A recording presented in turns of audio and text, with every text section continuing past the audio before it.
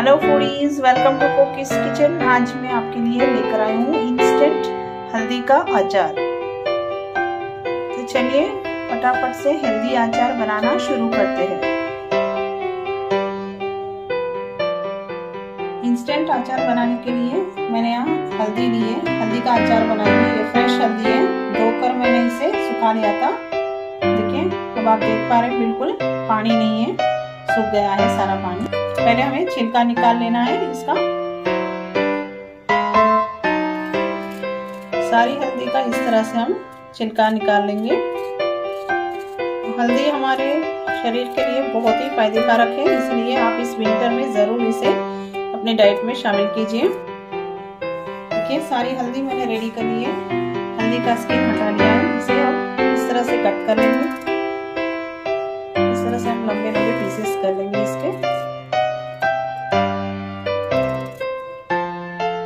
आप इसे इस तरह से गोल भी कट कर सकते हैं। हल्दी हमारी रेडी तो हो चुकी है कट कर इसमें हम डाल देंगे हरी मिर्च।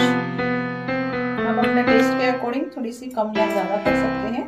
तो 50 ग्राम हल्दी है, इसमें मैंने 50 ग्राम मिर्ची ली है, इसे मिक्स कर देंगे। इसके साथ हम लेमन जूस डालेंगे। मैंने चार लेमन को कट करके यहाँ जूस निकाल लिया है।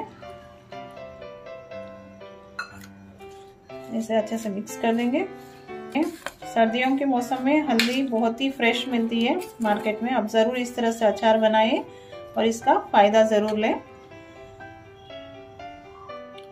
यहाँ मैंने फाइव टेबल स्पून ऑयल को गरम कर लिया है। हल्का सा ठंडा हो चुका है। इसमें डालेंगे हिंग चुटकी भर। साथ में हम डालेंगे mustard seeds four tablespoon split mustard दाल मैंने इसमें डाल दी है। इसके साथ हम लेंगे फेनेग्रिक सीड्स ये भी स्प्लिट दाल है, इसे भी मिक्स कर लेंगे।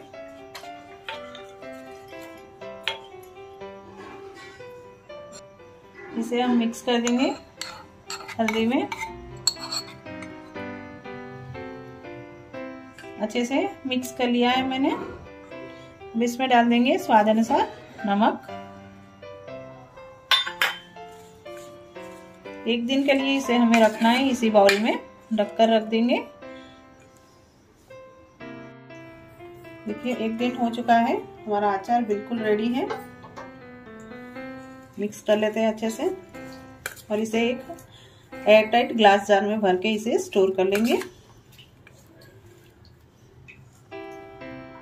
यहाँ मैंने ग्लास का एयरटाइट जार ले लिया है।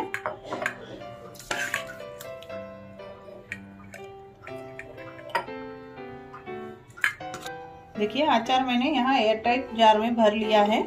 इसी तरह आप भी बनाइए और इससे स्टोर कीजिए और एंजॉय कीजिए बहुत ही हेल्दी और टेस्टी हमारा फ्रेश हेल्दी का अचार आज की रेसिपी आपको कैसी लगी, ज़रूर कमेंट करके बताइए मुझे।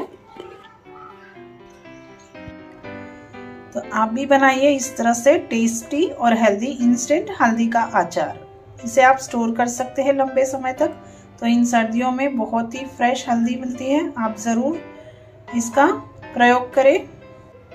आज की रेसिपी पसंद आई हो तो ज़रूर इसे लाइक शेयर भी कीजिए अपने फ्रेंड्स और फैमिली के साथ। अगर चैनल पर नए हो तो चैनल सब्सक्राइब कर लीजिए। तो मिलते हैं ऐसे ही मज़ेदार रेसिपी लेकर आऊँगी मैं आपके लिए। तब तक के लिए टेक केयर बाय बाय